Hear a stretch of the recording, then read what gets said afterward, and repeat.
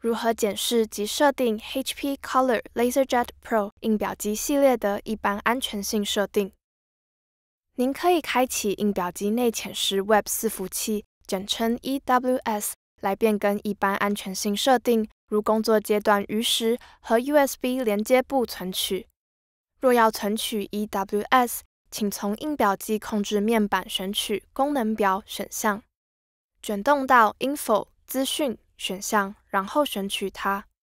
从功能表中选取 Connectivity 连线选项，在 Connectivity 连线功能表中选取 WiFi 区段，然后列印或记下 IP 位置。开启网页浏览器，在 URL 搜寻栏位中输入 IP 位置，然后按 Enter 以开启内潜式 Web 伺服器。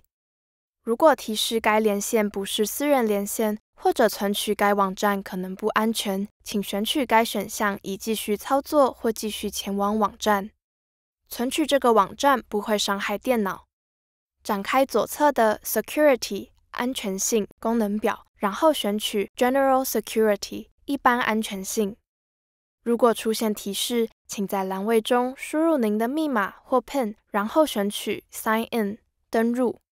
使用 Status 状态。标签检视一般安全性选项的目前的设定方式，选取 General Security 一般安全性视窗顶端的 Configure 设定标签，使用 EWS Session Timeout EWS 工作阶段预时下的加号和减号按钮，设定 EWS 工作阶段预时的时间分钟。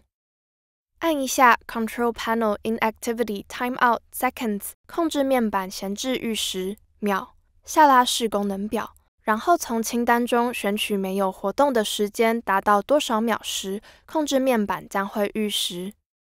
Hardware Ports 硬体连接副区段可让您切换连接副 USB 和主机 USB 随插即用下方的开关来开启或关闭直接连接部 USB。和主机 USB 随插即用。